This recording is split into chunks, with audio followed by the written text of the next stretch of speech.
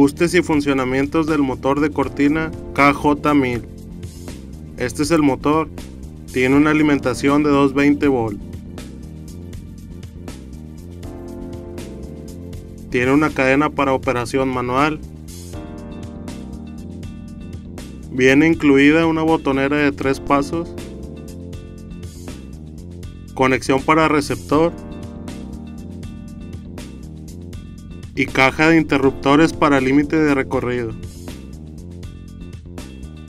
Vamos a probar el funcionamiento de la botonera.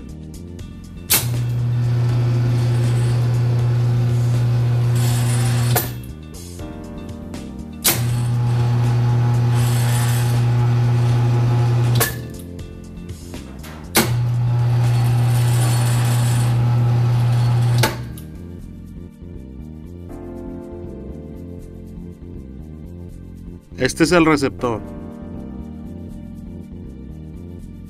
Tiene un switch para especificar a qué lado de la cortina se ha instalado el motor.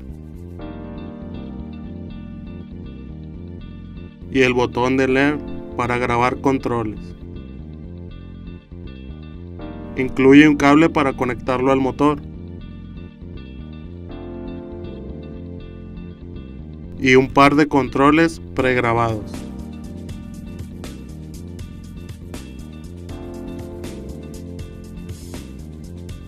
Lo conectamos al motor. Una vez conectado, no requiere mayor instalación.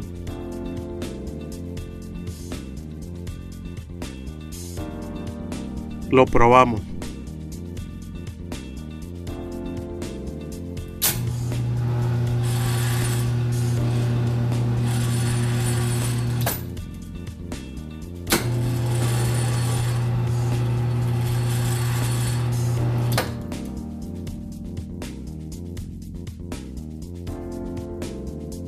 Ajustamos el recorrido, quitamos la tapa y aflojamos el tornillo de límite a ajustar. Giramos la tuerca en sentido o contrasentido de las manecillas para aumentar o disminuir el recorrido de apertura o de cierre, según sea el caso.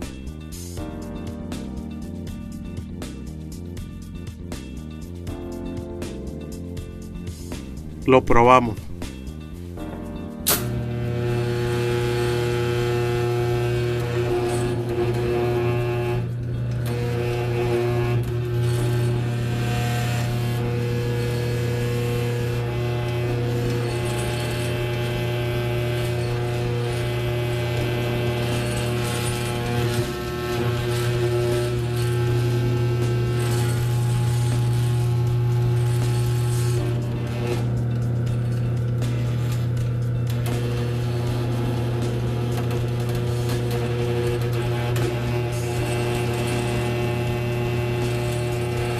Listo, con esto terminamos los ajustes del motor de cortina KJ1000.